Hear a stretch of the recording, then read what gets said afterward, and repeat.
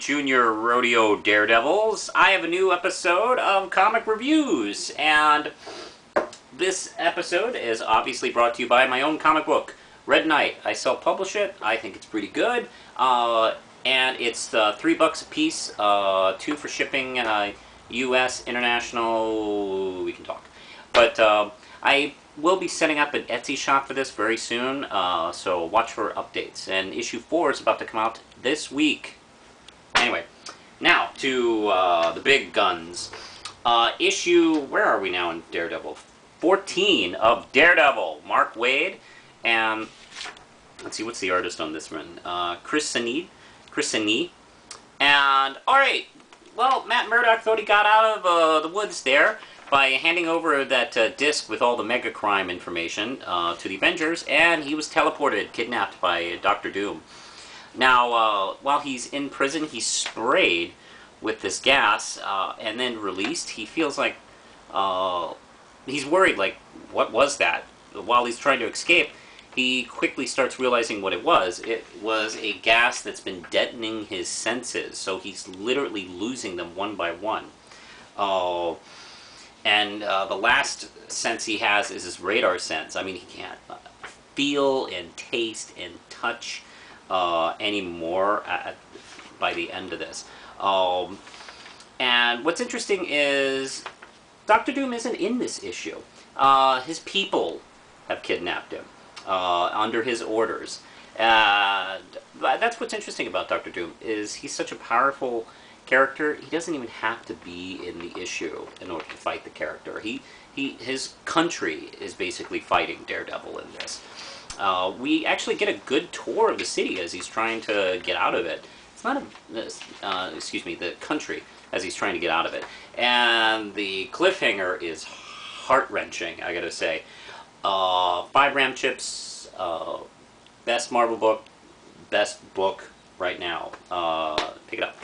Now, my second favorite comic is Glory. This is issue 27, and it's by uh, Joe Keatinge, uh, and Ross Campbell uh, doing the art.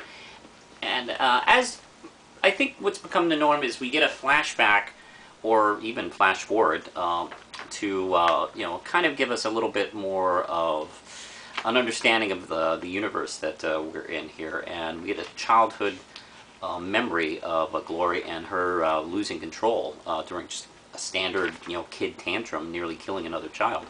Uh, and her uh, mother is the only one that you know keeps her from actually killing like a little friend of hers. Uh, what's interesting is it really does feel. It really does. There, there, it's really humane the way she's kind of savage and evil here, and then she's caught, and that look on her face is really kind of like very obvious childlike.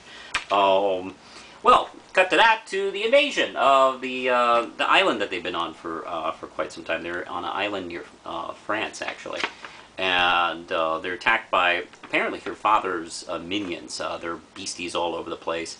Um, let's see, and Riley and Henry are doing their best to escape, but he has to go really monster on a lot of beasties in order to uh, help her escape. And boy, boy, boy, this whole issue is just savage fighting all the way through. Um, and I, Ross Campbell, I followed Ross Campbell on his uh, Twitter, and he said this is his favorite panel he's ever drawn. Is this shot of Glory biting off someone's face? I don't think Wonder Woman has done that yet. Um, wow, what a killer, killer issue. And it ends also with another, like, slap in the face kind of uh, cliffhanger. Uh, where uh, Riley is told, you know, what the invasion's all about. What a great comic. Uh, I highly recommend this. Now, more people are buying Daredevil, so I, but I still keep feeling like I should tell you to buy Daredevil. Um, really check this out. I don't care what anybody says about Rob Liefeld. This is a great book. This is a terrific book. Highly recommend it. Five ram chips. And I have gotten back into Turtles, motherfucker. Here is issues 10 and 11 of Teenage Mutant Ninja Turtles. And it is by Uh, a whole bunch of people. Kevin Eastman, one of the creators, is actually on this book. He uh, he's been writing the storyline with Tom Waltz, and uh, Tom Waltz has been doing the script. Dan Duncan has been doing the art, uh, with occasional. Uh, actually, it has a bunch of covers with IDW. IDW seems to do multi covers on everything, and uh, one of the artists doing the covers is Eastman himself, and you know these these by him. the other colors, the other co- excuse me, the other covers look great. But, you know, I want the Eastman covers. This this guy created the fucking thing in the first place. I want those. Um, now, to recap, this is sort of like uh, a reboot of the whole series. It doesn't have, it doesn't seem to have any continuity uh, with the previous versions of uh, the Turtles, which is fine with me. This is a, this is a new uh, company. Why, why don't we just start it fresh?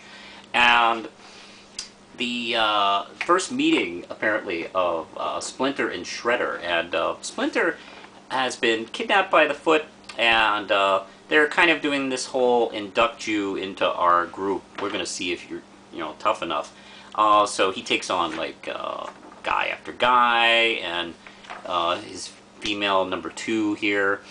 meanwhile, the Turtles trying to figure out what the hell to do. they don't know where he is. So they're kind of like stuck, and uh, they kind of like they have nowhere to go too. So they uh, they decide to hang out in April's abandoned uh, store here, uh, trying to figure out. And in issue eleven, the uh, the fight gets more intense as uh, Splinter takes on. You know, maybe Splinter doesn't need to be rescued. He's kind of kicking the shit out of everyone as the turtles are trying to figure out in vain what to do. At the end of this issue, they uh, do hook up with uh, some street gang members who have been uh, very, very upset about the uh, apparent number of mutants uh, that are attacking uh, various people in the city. the art is just wonderful by Duncan. And at the end of this one, they decide to go go rescue Splinter, while Splinter and Shredder decide to go against each other. So that's what's uh, scary, uh, shaping up for this uh, storyline.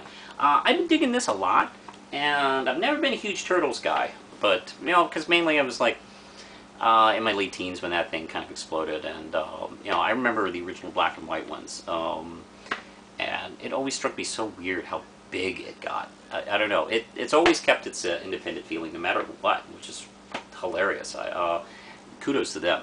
Uh, I'm going to give these two a very strong four Ram chips. Uh, if you're a Turtles fan, or if you're always been curious about the Turtles like me, uh, pick it up. This is a pretty good series so far. Uh, big crossover kooky fun is the Avengers X-Men storyline. This is issue 6, and uh, everybody who writes for Marvel is writing this. So, uh, Jason Aaron, Brian Michael Bendis, Ed Brubaker, Matt Fraction, and Jonathan Hickman. Jonathan Hickman is doing the script for this one. That's kind of the way they've been breaking it down. Like, uh, all those guys have been uh, put together the story, and each take a turn uh, at the script, which is not a bad idea. Uh, John Romita Jr. has been doing the art up until now, uh, but now it's Olivier Coipel doing the art, and I love his work, actually. And now, last we left our Marvel Universe, um, the Avengers figured out a weapon to take on the Phoenix, uh, force, and before it took possession of Hope, Tony Stark, uh, Iron Man, was able to hit it with everything he had, and instead of destroying it, it's energy. So it just split, and it in uh, it, it ended up possessing the various members of the X-Men that were there. Uh, so, you know, instead of Hope, it's taken uh, charge of like, uh, well, uh, melded or taken possession, or I don't know, whatever that. Because they're still kind of them uh, of Cyclops and uh, Namor and Magik and Emma Frost and uh, Colossus. And they have, instead, it, the issue ended with an ominous shot of them heading back towards Earth, and you think, oh boy, they're going to fuck up Earth. But no, they've gone actually back to their mission, trying to improve uh, the world. Uh, Professor X shows up at um, at uh, the Utopia Island, and he's greeted by Magneto, who is, I guess, been reduced to being Cyclops' greeter, uh, which, you know, he's old enough to be that. So, I don't think he gave him any smiley face stickers, though. Total fucking bastard. Um, anyway, he has a meeting with uh, Cyclops, and he's kind of concerned with what he's doing. Uh, and they're all over, just fixing the world, uh, which like sounds like a good idea, but uh, Professor X and the Avengers are really concerned about this. Like, you know, uh, it's this philosophy of every time there's been a step forward in uh, human evolution, um, whether it's like natural physical evolution uh, or or just uh, society as a culture, uh, there's been suffrage. There there has been uh, kind of sacrifice. it, it it's it, it change like big major change for the better has never come easy without a price and that's what they're concerned about here that you know it's like great but you know uh, there's there's nothing we had to do for this. And you know we see them like going all over here. Uh, and that's when that's something I've really liked about this storyline is it does seem like it is kind of digging deeper into uh, the philosophy of you know you know what it is to you know really change the world for the better. And uh, lots of cool stuff here. I'm not going to give too much away about the ending, but the Scarlet Witch, uh, after being hinted that she's going to be a major player, finally makes a move. Uh, really dug this. I've uh, been enjoying this miniseries so far. Uh, I haven't been reading any of the uh, extra books. I've only been reading the Avengers titles that I don't really read anyway. they've been good. Um, this is going to be five RAM chips. I really dug this. And, oh, two more. X Factor 238 by Peter David. And who's the artist on this? Paul Davidson. Uh, I like X Factor seems to be the only book that does this, where it, ca it catches you up on what's going on with the title, and then uh, catches you up with what's going on with the writer's life, Peter David. Uh, like uh, he's talked about, uh, you know, his. Uh, let's see, in this issue, Peter David's eldest daughter, Shanna, uh, along with her husband Tim, have started up their own movie theater in Jacksonville, Florida. I mean, that's hilarious. I love it. Uh, that really does make it feel like almost like an indie book, really. I mean, I don't even do that. Um, but uh, there's this character somewhat like the Banshee killing people. So obviously that makes uh, Banshee uh, a lead suspect.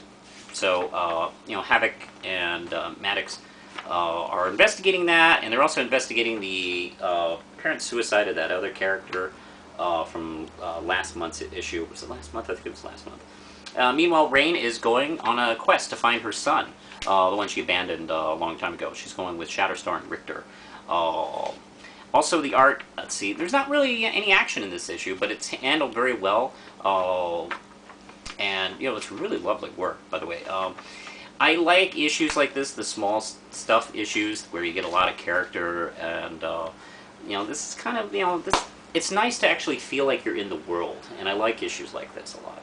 Uh, this is Five RAM Chips. I'm so glad to be reading Peter David again. I haven't read one of his titles in a while, and this is quite wonderful. Five RAM Chips. Uh, and lastly, I got uh, Captain America.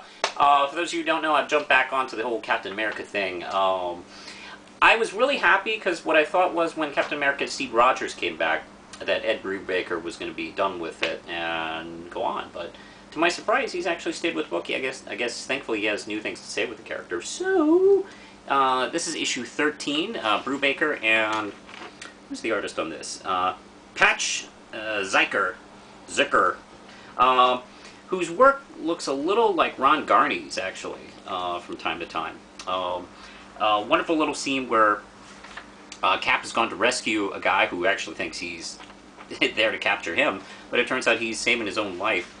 Oh, and let's see, it's about basically this storyline is in, uh, about the new Scourge, who is uh, killing uh, baddies left and right.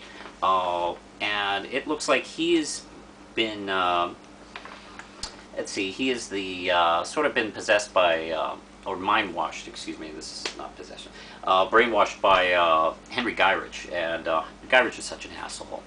And uh, but is he being controlled too? Who knows? Well, I mean, you know, the writers do, because they made it up. Uh, wonderful little stuff. I love all. This is this is what I really like about Captain America a lot. It's this this kind of espionage superhero mix, and kind of done fairly in the real world, uh, and really has a real modern espionage kind of uh, feel to it. I've been digging this a lot. I'm going to give this five RAM chips. Enjoyed it quite a bit. Well, I think that's it for now, so push the button, Lindsay.